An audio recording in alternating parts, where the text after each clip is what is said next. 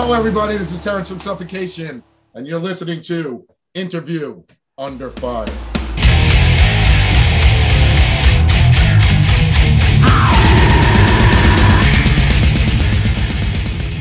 All right, how's it going out there, everyone? Welcome back to a brand new episode of Interview Under Fire. This is your host, Sunny, here back once again. And today I am here with a seasoned veteran guitarist in Terrance Hobbs. Quite the honor, man. You know, thank you so much for joining our IUF series today. Now, Terrance, you know, this is an exciting time of the year for you and the rest of the guys over at the Mighty Suffocation with the release of your latest live album, Live in North America, which just dropped here on November 12th uh, on Nuclear Blast. Uh, first things first, man. I want to commend you guys on all of the, you know, just getting ge- getting this far into your storied career with the band over 30 Right. years of existence and all Never the well-deserved recognition you guys have been getting. I mean, could we expect anything less? Let's be real here. I know we talked about it before the interview started, but plenty of things to unravel about, you know, this unique album and who you guys are all about now that we're kind of collectively seeing the light at the end of this long tunnel we've been in for the last year and a half, two years. I mean, two things, man. Uh, how are you and how's life out there in Long Island, New York? well, I mean, yeah, I'll put it to you like this. Everything is cool. I mean, we're still here. Band is still alive. Um, you know, obviously we've had our share of trials and tribulations over the whole COVID episode. Um, and obviously it's not over because things are constantly still in flux and Of still changing.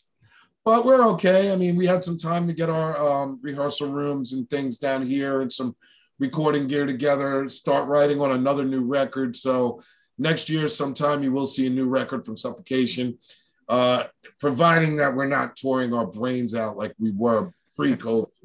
Because I mean, you know, you know, our object is to always put out a record and try to get to every nook and cranny of the planet and play in front of everybody as we can and uh, it's been kind of tough over the last 20 months. So now we've just returned to uh, going back to the stage, and uh, we had a we had a show down in Atlanta. We played um, we played a metal fest down there, which was really cool. Played with Violence, some other bands like Malignancy, Nuclear Assault, like those bands played down there. We just did a show here at a small venue in Long Island, and it was sold out. Had a great time seeing all of our friends.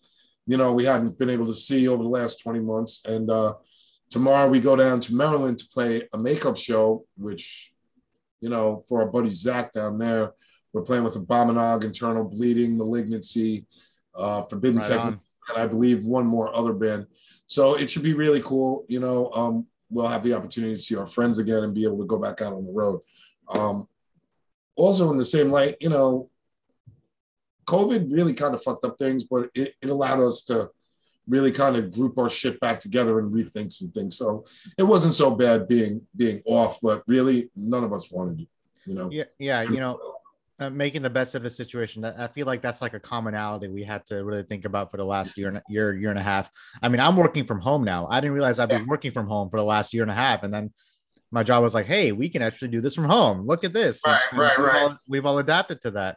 See, for me, for me, it's like, yeah, being in a band, you can do certain things at home. You can do the live video feeds and the, of the band playing and everything, but I mean, it's just not as organic to us. And so we just really wanted to take our time to just get our rehearsal spot together, make sure we had our gear straight, like write more as much as we possibly could. Um, work on some older songs to bring into the set, amongst other things. So, I mean, we had our hands full during the whole pandemic, and there was a lot of, like, let's say, hurdles we had to get across because our drummer is Canadian, and Mm. let alone that they're letting everybody across the border down south coming in from Canada, where they had a lot of restrictions as well, was making it kind of hard to get him here for the work visa and to be able to play the shows. So we had to overcome that, and uh, finally it happened. So we're good to go, and we're able to be out and playing, and you know we don't have to really worry about uh, the next six to eight months of his work visa and being Yeah. here for rehearsal recording and all that stuff. Or the next, or the next six to eight months of lockdown. When, whenever, Yeah, exactly. that, it's like a different mindset if you think And, about yeah, it. they, they change it every week. So now it's like we can't really. I mean, let alone the music industry was fucked to begin with. You know, it's not an easy industry, and you know everybody's like, "Oh my god, you know, we got to take five thousand dollars worth of gear in a five hundred dollar car to Yeah. a dollar show." Well, that shit is true, but when it came down to COVID, it was like, dude, we can't even get into a car and go and play a show. So, you know, it, it was a little bit tough for us to deal with that kind of shit. but I'm glad we, we're able to get back out now. Hopefully, um, they won't be changing the rules and making everybody fucking start crazy and bipolar, and we'll be able to get back on with it. And you know, the musicianship, the musicians, the the merch, the merch industry, and all the rest of that stuff will finally pick back up again and do the right thing. You know? Yeah, yeah. And speaking of picking back up again, I, I got to ask about this because, uh, you know, suffocation. And for people who don't know, you guys have been around you know, three decades of headbanging. I mean, just brutal death metal. And that feels as as like yeah you know uh, you know it can, it can date back to back like the early 90s late 80s but you know you've been at this for a while terrance. Everything that you're telling me whether it's with suffocation or castrofate or criminal element or even deprecated you know uh, uh, i, I want to talk about that touring life uh, touring life that you guys you have talked about because you played at uh, festivals like Wacken and you know oh. Hellfest, Brutal Assault, seventy thousand tons, just to name a, name a few over the years. But what is it about you know performing live that you love the most, or maybe even miss the most? Do you have a newfound appreciation about it now? Uh, yeah, I mean, to be honest with you, it was really kind of heartbreaking to have to like, because we were on tour when COVID hit, actually hit, and yeah. Trump was like, "We're closing down the border and this and that and the other thing." I was like, "Fuck, man!" Like we've never really had to cancel a show, and if we did have to cancel it, it was like well in advance before a show was ever, you know, was ever really finalized, or somebody who had died in the family, or you know, something real, real tragic. You know, yeah, we've never had to really cancel, especially like when we're on the road and we have our fans waiting for us our friends that we've you know grown up with throughout the years that have traveled and moved on in the world you know we're still able to keep contact with them and be able to see them. And I think that has a lot to do with us being on the road. It, it's like, it's a dual lifestyle, you know what I mean? And it's something that, like, you could go out on the road and you'd be out there for two months, you know, and you'll just be like, man, I gotta go back home. I have to go back home and just take care of life. Like, you know, put myself back together, take care of the bills, make sure everything's square with your families, everything else. And then, you know, you'll be home for that month or whatever. And then you're like, I gotta get back out on the road, you know, I gotta, I gotta go and do what we're good at. So I mean, it, it's it's almost like if you're working in a job that you hate, you hate being there, but this is like a hobby that's turned into a career that is something I love. So I think all the guys in my band really love being able to go out and play live see our friends, see our fans, see people smiling, see them bumping into each other, playing gigs with your other friends' bands. Like, you know, you go out there and you run into Goatwhore, you run into Pestilence, or you run into like, you know, Sinister or something like Cannibal Corpse, like all the people that like, you know, and to be able to share a stage with them and just reminisce about growing up and having a couple of drinks to bar, like all that stuff, like really is in here. And it's great when you can turn around and have that kind of lifestyle and after 30 years, it's kind of like crack, you know, you know, you're never going to stop. it, it's, it's part of your DNA, right? Yeah, and, yeah. And, and little, little, little things like you're little things like, yeah, yeah you're fucked for the rest of your life. So, I mean, if there is a drug in the world that's the most addictive, I would think it would be that and having this kind of lifestyle and being a part of it for so long. It's just like a piece of me, you know? So, I mean, I do, I honestly, I missed it more than anything in the world you know, um, during COVID because we had off 20 months. Of course. And that's a long time. Yeah, we were able to get together and practice and write stuff, but it's it's definitely a lot different than being able to be out on that stage and blow off all your aggressions and see it and hang out with your fans and get to see a different part of the world or you know, stuff like that. It's just it's just something I would never want to give up or or let let slip away from. I feel like the term grateful has been emphasized a lot, you know, and you know yeah, that's I'm definitely very, something. I'm very grateful for it for the fans. You know? Yeah, and, and I'm very grateful for you know just you guys doing what you're doing, going to shows again. And you're talking about you know the live experience. This let's talk about this new live album, Live in North America, which yeah, uh, dropped this past week on Nuclear Blast Records on November 12th. Now, uh, again, for people who don't know, this is the live album that was uh, recorded during your Death Chopping North American uh, tour from 2018. Frank, yeah, that was Frank Mullen's last tour with us. Right. I mean, you know, Frank has always been, uh, you know, Frank's always a part of the band. He's always been a great friend. He still is. We still always, you know, talk to each other, run into each other. You, you know, just as friends, go have some drinks at each other's houses, stuff like that. And just because, I mean, we grew up together. Um, but Frank, you know, I think over the course of time, just you know, like real life kind of took over, and that's where he is and where he's at, where he wanted to focus his attentions. And we can't knock him for that because it is a tough lifestyle being out on the road a lot, having to write music, produce it. it is really tedious. You know, it takes a lot of uh, a lot of effort on his voice and on his throat and on his head, his blood pressure, everything like that. So, I mean, for me, it, it was kind of sad to know that that was the last tour he was going to do so before we ever even went out on the tour, it was like, hey, Frank, you know, which songs are you the most comfortable playing? Hmm. Which is the reason that those are the songs that are on the Live in North America record. And, uh, you know, we wanted to really make it something that was special and something that really reflected, you know, the band from the old to the new, even though Frank, this is his last thing, you know, it's older songs that we're playing, uh, some, you know, new guys in the band. Well, they're not that new anymore after five or six years, but, uh, you know, we just wanted to bring a really good representation of what the band was like, what the crowd was like for us. Um, you know, a good production where we played the best.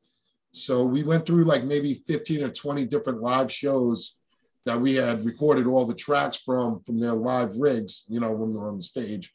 Had to sit there, listen to all of that, and then find the one that really best suited us for all of you guys. And that's what you got. It's live in North America. So um, you know, Massachusetts, thank you for being so awesome to us and uh, bringing bringing forth Frank's last recording.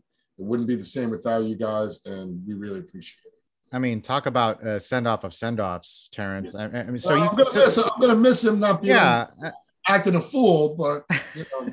I mean, I'm gonna miss Frank too. I mean, and Frank, you know, he's considered as one of the most emblematic death metal vocalists as well as one, one of the first to very use that deep growl you know? It was very very influential. Uh, so so i'm guessing there was that sense of closure for you terrance and the rest of the guys knowing that hey this is going to be the final yeah. dance i suppose. You know that michael jordan has that one show called the final dance but you know last dance you know? You kind of knew that that was it for frank you know? Yeah.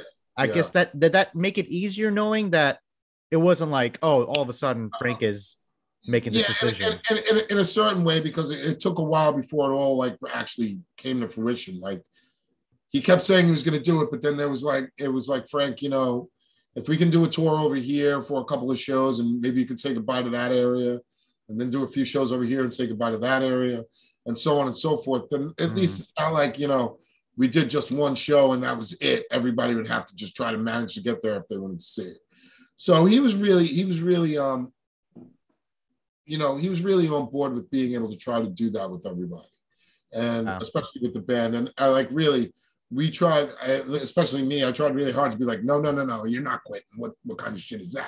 You know, you've been with me doing this shit for forever. Now you're gonna, you know, yeah. And I mean, it, I guess it's a little bit different because you know I rely on my hands and you know stuff like that, where he's relying on his throat and his lungs and you know things inside your inside your body you know? So none of us will ever know what that's like and what he has to go through. So you know for him i think it was a wise decision because maybe it's affecting some some parts of his health. Maybe he feels his voice isn't the same and or, or something to that effect or maybe he just didn't really give a crap and he's just like i'm happy now just leave me alone i don't need to go anywhere you know it's probably a combination of all he's done his time i guess yeah, he's done his time like, he already did his bid so now he's out you know he wants to do his thing I mean, uh, us being musicians, you know, we just never want to stop playing. I don't think I'll ever stop playing until either my arthritis kicks in so bad that I can't pick up a guitar.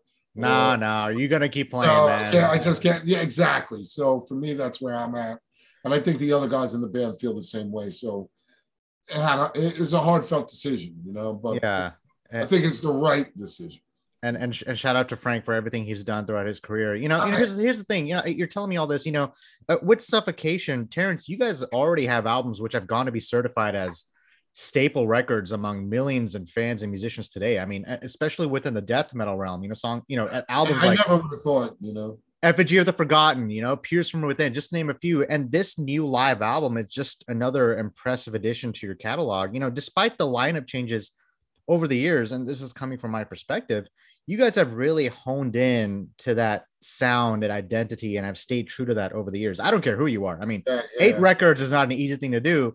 No. Here you are, but knowing and being a part of that success that suffocation has been through, you can tie it in with the Frank as well. But walk me through this, Terrance. You know, uh, does writing get easier or does the pressure of so many great records make it harder? Well, for me, it makes it harder because, you know, I always want to make sure that there's like, you know, some new blood or new things coming from all the members of the band because we're a band because everybody can contribute, you know. Hmm. And being that I've been there from the beginning all the way up until now, you know, I never want to continuously write the same thing over and over and over again. And with all the riffs that I've written and all the stuff that we've accomplished, and you know, I feel like it just gets a little bit more. It gets harder because I want to keep the originality and keep all that stuff, but I still want to make it new. So it's interesting to play and it's in, you know interesting to bring forth to other people. I want to learn other people's styles and bring that forth to keep things fresh. So it, it makes it a little bit more difficult for me. Hmm.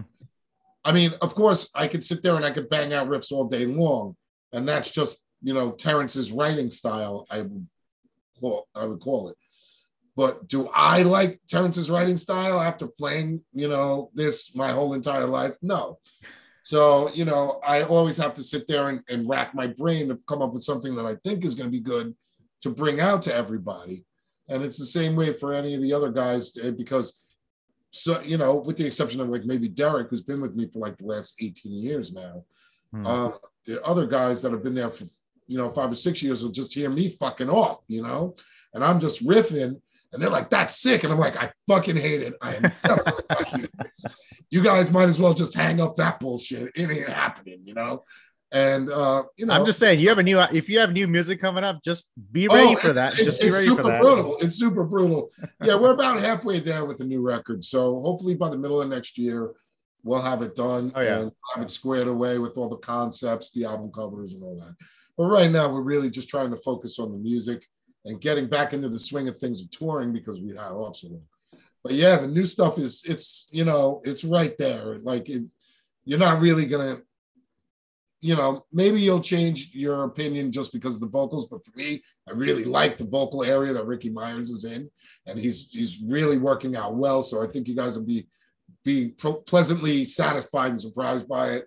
But the music itself is just right there with anything from the past that we've been doing. Like we use we use the same formulas, the same styles, and those type of things to to bring to bring our music to life. So hopefully you guys will enjoy it but it's going to be a minute before you get it. But hopefully you like it. Oh, I know I like it. Oh, well, you, you set this up for me perfectly because uh, turning the page, right? Big shoes to fill. Frank's gone. Now here we are with Ricky Myers. Let's talk about Ricky Myers for a second because he took over as soon as Frank uh, left the band. And Ricky, he's known for his work with uh, Cinerary, Disgorge, yeah, uh, Sarcolletics, Serpentis Whisper. I mean, that list goes on forever. But you know, what new element does Ricky bring or perhaps even brought back into suffocation that the lineup may not have had before. You think there's a you think there's a there sense is. of pressure for him at the same time? Well, yeah, absolutely. And I mean, the good thing about it is, I mean, if you're just looking at it from being in a band perspective, being a band with the man, um, you know, Ricky's he's killer because he's he's been a part of the music scene for a long time. You know, with Disgorge, that was his band. I mean, you know, we've been out on tour with them before. Obviously, back and forth, we've always been friends with them and uh, I mean he's he's a he's a person that his heart and soul is in in it, you know. Mm-hmm. So whether or not he's playing drums or doing vocals or just throwing ideas around that he hears in his head, he's actually doing that, and that is something that like we kind of really need and feed off of to bring that new that new opening out to everybody. And he's working his ass off. So I got to give him credit. I couldn't be happier with that. I mean, he's constantly writing lyrics, he's constantly rearranging things and trying to articulate certain words, emulate certain things that Frank would do that, you know, is not necessarily him, you know?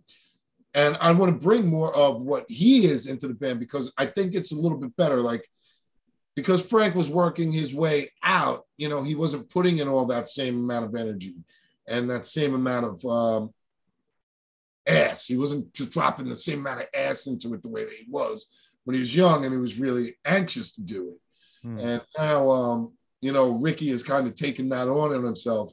And I mean, the man practices every day. He wants to practice every day. He, you know, he's really effluent on drums. So, with that being said, he's got really good timing, you know, in the way that he structures things. He's, he's it's a it's a good thing for us. And Yeah. I mean, it sucks because it's big shoes to fill because everybody's used to Frank Mullen, but in the same light, it's like really a breath of fresh air for us because it takes a lot of pressure off of each of us having to do somebody else's job, unless it's something that we feel like. If I wanted to write lyrics, I'd be like, here, use these lyrics I wrote. You know, but for me, really, I would just want to focus on riffing. Yeah. I- I- Ricky, for Ricky, he's like, oh, maybe you try this on the drums because he's a drummer. Oh, I'm gonna pace it like this because his timing is good. Oh, I'm gonna do this because it sounds like something that Frank would do. You know, I would I would syllabalize it like that, and that's where he is. So he's putting all that into his mind. So it's got to be a little tough for him to fill Frank's shoes, and especially in those areas. But he's doing a really fucking kick-ass job of it. So yeah. I, I, I, careful when it comes down to that. yeah it's it's so great to hear that. And i feel like this would show a whole different side of suffocation that we may not have expected that we'll actually end up really loving. And uh, looks like looks like you found the We're right go- guy. We're going die hard, bro. that's, that's the only way to do it. Um man uh terrance so we are we got five minutes left. So i talked about that surprise at the end right? So we we got we're gonna go and go ahead and do that before i let you go to your next interview. So here's what we're gonna do you okay you got your coffee ready i got mine ready too so this is gonna be a lot of fun all right It's my high life superfood. High life. High, oh, that's just, okay. Yes. I don't. I don't have that. I, I got the coffee, so Good for you. Cheers, man. I'm actually just get some superfood after this. Actually, now you got me thinking about lunch. Um, keep you going. all right, here we go. So what I'm gonna do here, Uh-huh. um, I'm gonna put do something called the lightning round. Here's what we're gonna do. I'm gonna go down a list, Terrance, and you just have to think quick on your feet. You have to pick one or the other. All right. I'm gonna ask you a question. We're just gonna go down this list. All right. Some of them are plain simple. Some of them are just downright stupid. But that's the fun part about it. Okay. You ready? Game. Okay. You got it. All right. Get you got the superfood. All right. What's the capital of New York? Albany. Just kidding. I know you're from New York. All right. Red or blue? Uh, red. Vegan or meat? Meat. Coffee or tea? Tea. Cats or dogs? Dogs. Star Wars or Harry Potter? Star Wars. Who's your favorite character? What in Star Wars? Yeah. Ah, man, come on. It's like Luke. That's a, you know, it's just hey, you, got, you gotta go. You can't go yeah, wrong yeah, with it. you know, I got Somebody, somebody said no, no, no. Wait, it's Anakin. I was like, oh, that's a good answer. Okay, Yeah, well, it could be. I, We I could like go- we could go down that rabbit hole forever. All right, Mexican food or Italian food? Mexican. All right, I'm here in Texas. This is a big debate. Is it pecan pie or pecan pie? Well, here we say pecan. Oh, I didn't know that. So over, I say pecan, but uh, over here it's just split down the middle. Like there's people would argue with each other. No, it's Go pecan. I go pecan. Yeah, yeah. All right, It's, now it's like car kettle up in Boston. We call it car here in New York. They call Oh. it cat. I had no cat, idea. kettle. You know. All right, weird. now now you said you're from Long Island. I gotta ask this question: Sure. Giants or Jets? Ooh, man, that's a tough one. I mean, I'm gonna go with the Giants because that's my brother-in-law's favorite. Not So- a big fan. so you don't know this, but I'm I'm a die-hard New York Giants fan. I was just in Kansas City when we played them on Monday night a couple Really? weeks ago. So I go every year. Obviously, I'm in Dallas, and when the Giants come to Dallas, uh, I always go to those Right, games. Well, Frank Mullen's favorite team is the Dallas Cowboys. So Oh, uh, at least you guys, at least you guys got that on us. hey, shout out to have New York. badass cheerleaders, bro. Hey, we got hey, we got the two Super Bowls for the last ten years. You can't really say that for the for the Dallas Hey, Cowboys. You guys So, kill the game. You guys kill the game. I can't complain. all right, country or K-pop, God, K-pop. I'll take K-pop any day of the week over Halloween or Christmas, Halloween. L.A. or Chicago. L.A. Are tomatoes a fruit or a vegetable? Vegetable.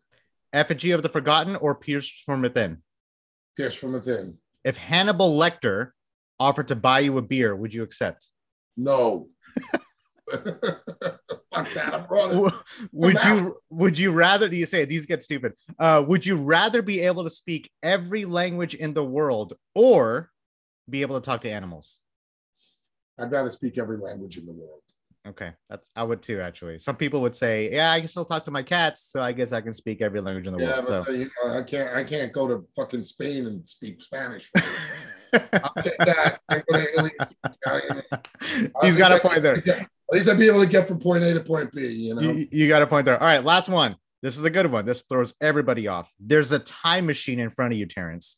Mhm. It's the it says the destination is Woodstock 99.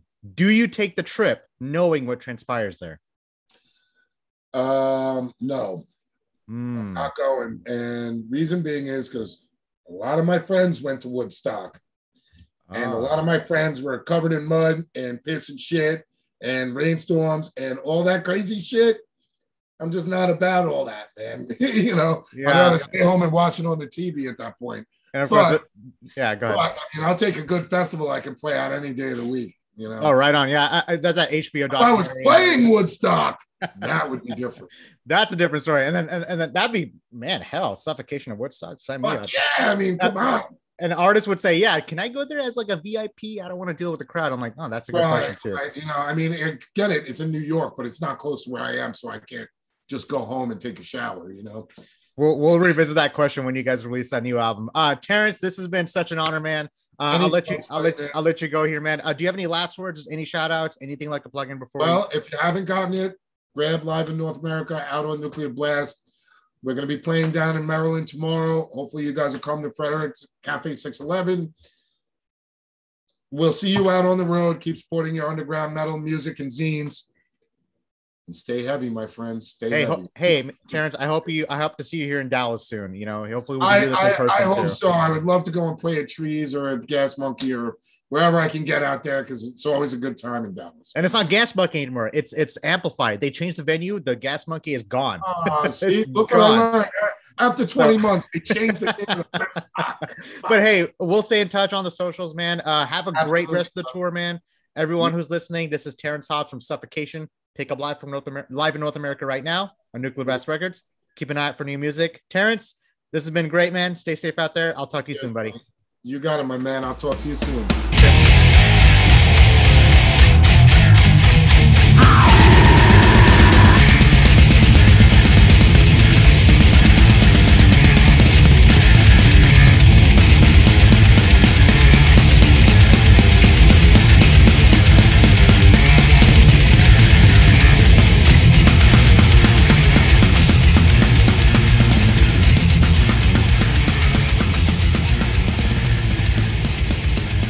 Hey guys, thanks for listening to Interview Under Fire podcast. If you guys liked what you heard, please subscribe and share our channel. And please leave a five star review as that helps us tremendously.